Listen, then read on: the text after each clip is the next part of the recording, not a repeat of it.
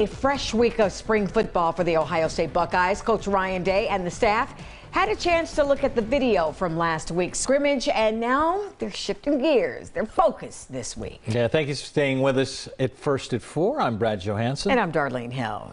Whitney Harding joining us now. All right, before we get down yeah. to the footage, let's talk a little Suggs because we had a game. Oh, man. And there's a little relationship here between uh, yeah. Jalen Suggs and Ohio State. That was a game game, wasn't big it? Big surprise, a kid that can make that shot is a really good athlete.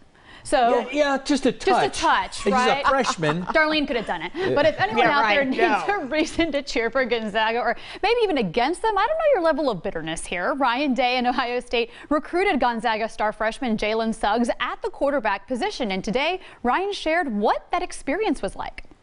Spent a lot of time recruiting Jalen, and uh, he uh, he came to our camp and had a conversation uh, with he and his family and friends and just you know how we project him out in football and as a quarterback we thought he was really athletic and uh, told his family that i thought he could be a really good quarterback but if he's as good as they say he's in basketball that probably would be his best avenue to take yeah, clearly it's worked out. Now that the scrim, now that scrimmage the Buckeyes had on Friday, Ryan Day said after watching the film, yes, there were some good things, but it's just more and more clear. These guys just need to keep playing more football you know, we're going to do some situational stuff here in the middle of the week and then, uh, you get into that scrimmage mode, you know, tackle and, and everything like that, as long as we stay healthy here going into the weekend. The rush is on to get them ready. And again, not that it was bad. They just need a lot of reps. And the more we can get them, the faster they'll learn because uh, the good news is they're all capable. I'm trying not to over overreact and, and I'd, I'd love to just scrimmage every day now after watching the, the, the film from Friday